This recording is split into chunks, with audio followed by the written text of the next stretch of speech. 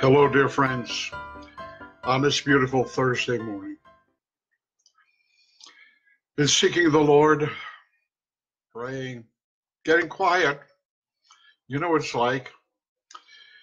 And uh, the Lord put in my heart a focus for our next deployment to Romania, and that is teach his people personal evangelism.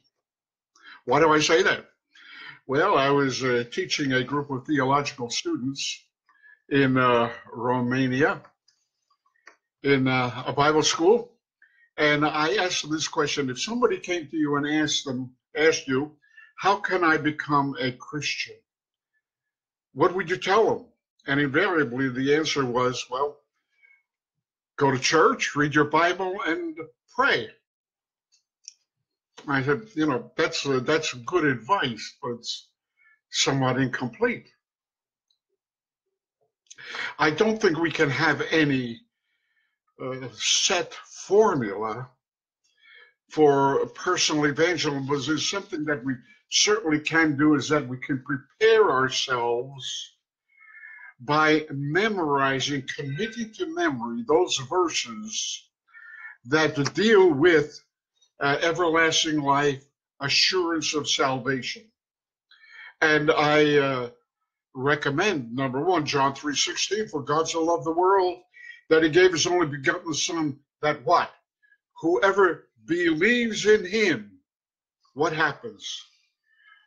Will not perish, but have everlasting life. Either that's true or it's not. If it is, then we need to use that. We can go to John uh, uh, 5 24.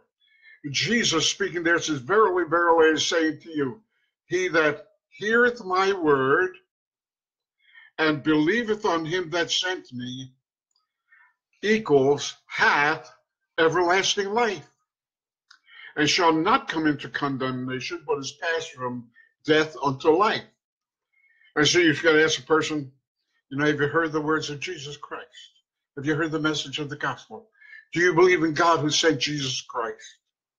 And uh, if they said affirmatively, you can, uh, based on the authority of the Word of God found in uh, John chapter 5, verse 24, then because you fulfill the two qualifications, you have heard God's Word and you believe in Him that sent me, therefore, the Bible says you have everlasting life.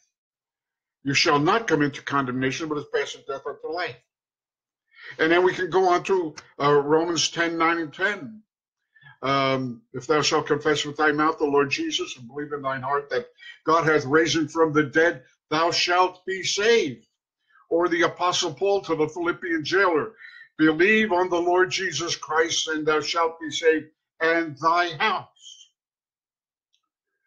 Then we have uh, Ephesians 2 8 and 9. What does it say there? By grace ye are saved through faith. How? By grace, the goodness of God, ye are saved. How? Through faith. Faith in what? Faith in Jesus Christ.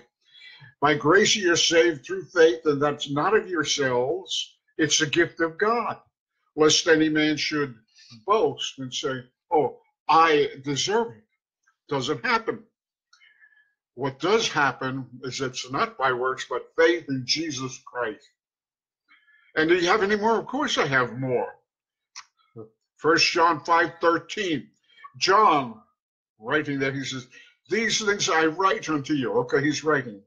He's writing to whom? These things I write unto you who believe on the name of the Son of God. Okay, so he's writing to those who believe on the name of the Son of God. What is he what is he saying? What does he do? He says, These things I write unto you who believe on the Son of God that you might know. Oh, he wants them to know something. I wonder what it is that he wants these people who believe in the name of the Son of God, what does he want them to know? These things I write unto you who believe on the name of the Son of God, that ye might know that you have eternal life.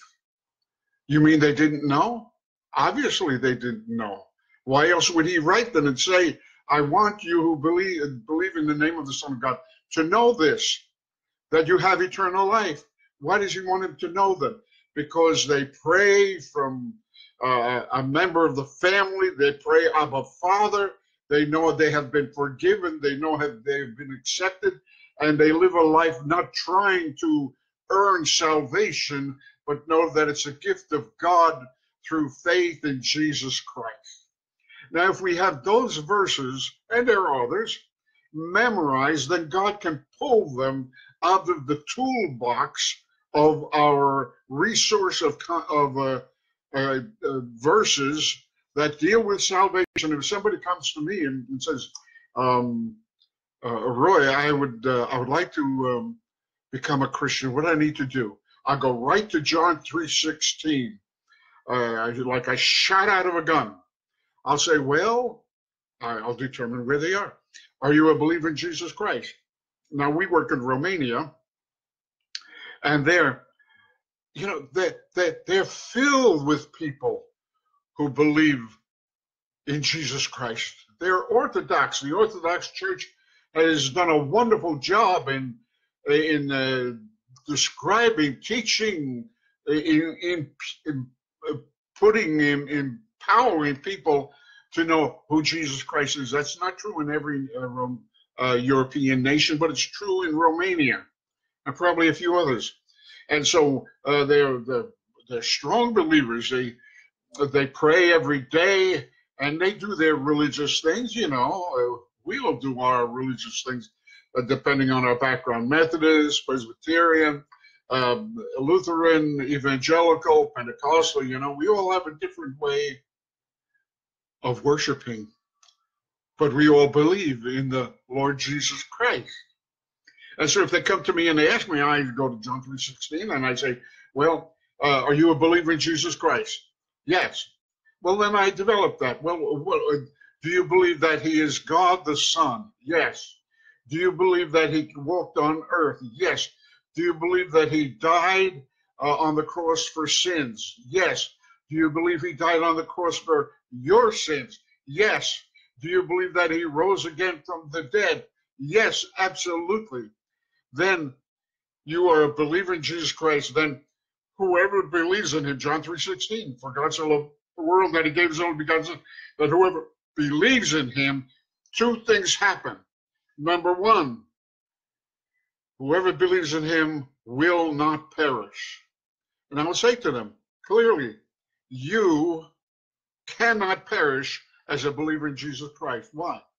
because orcine crede in el sanupiar.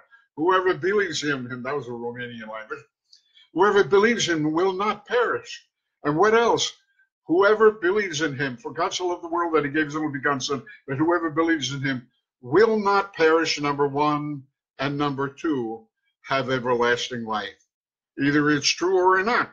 Either we believe in the Bible or it's not. Who's talking there? Well, it's in the red letters, as someone said uh, in some Bibles, and uh, it's, it's Jesus speaking. And if anybody knows who's saved or not, it certainly is the Lord Jesus Christ. Now, are there things that we need to do after we've been saved? Of course. But we're not saved by good works, as we sometimes say. We're saved unto good works.